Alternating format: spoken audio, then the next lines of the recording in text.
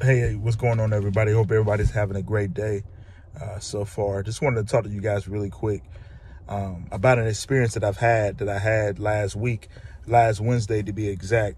Uh, I left my keys in the trunk, um, and it was a whole old ordeal.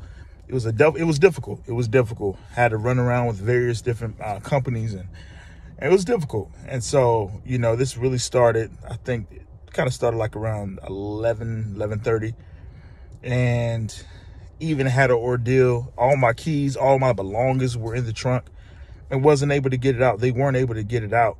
The locksmith was not able to get it out until the next day. Mind you, I said all of my stuff was in the trunk. So I ended up going to the leasing agent, um, to my leasing agent to get my keys and ended up coming to find out the key was the wrong key. So next thing you know, I end up having to uh, speak to someone in, main, in the maintenance department, in maintenance. And uh, the key that he had, that he brought, ended up being the wrong key. So he ended up having to drill, give me a, make a new lock, a whole brand new lock, and drill out the old lock for me to be able to get into my new, get into my apartment. So I say from like 11, 11.30 to about around, I probably got settled right around 11, 11 p.m. Was a long day. Um, but the reason why I wanted to tell you guys this is this.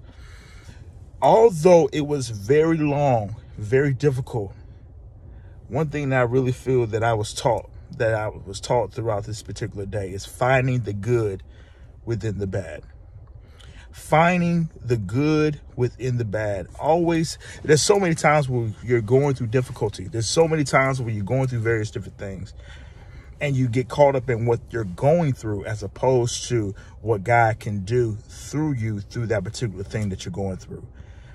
And it's so important for us to always find the good and the bad. Because through that situation, God can bless you. God can encourage you. And, he, and, this, is a perfect and I, this is a perfect example for me. So throughout this particular day, God was able to bless. He was able to encourage me. And the verse of the day was really interesting to me when I went, because I get notifications on from the Bible app. And it said this from uh, Psalms chapter 34, verse 19. And this was very huge and it was very encouraging to me. And it really helped me. Many are the afflictions of the righteous, but the Lord will deliver you them from them all.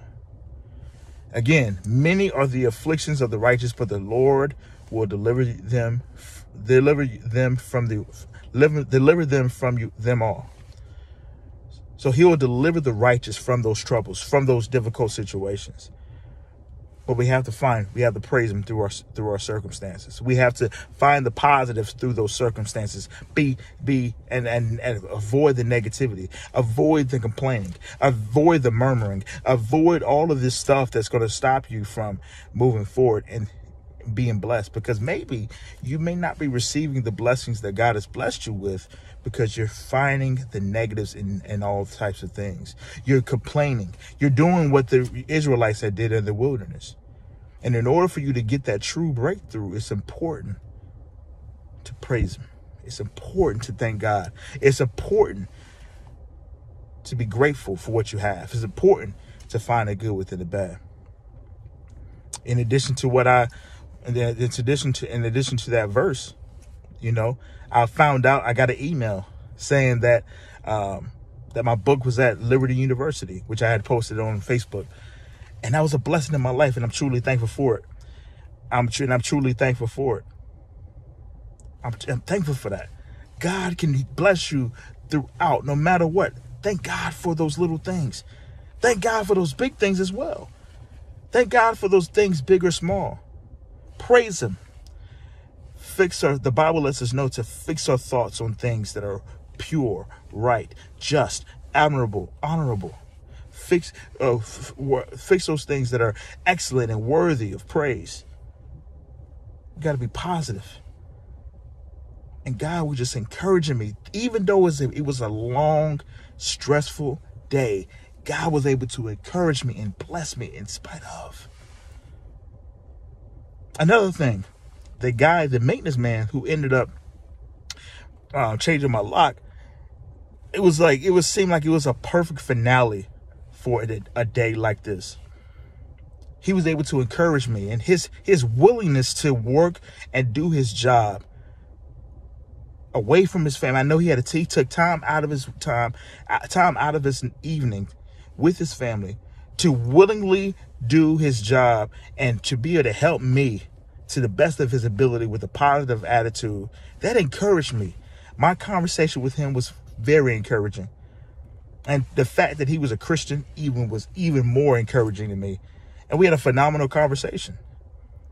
And I loved his attitude. I was willing, I was wanting to give him some money. And he was unwilling to take it. And so just to end my day, although it was a difficult day, God was able to bless me throughout it. Throughout your day, have you ever been in situations where you've been stressed? Where you've been going through situations? Maybe God is testing your faith. Maybe God is testing your strength.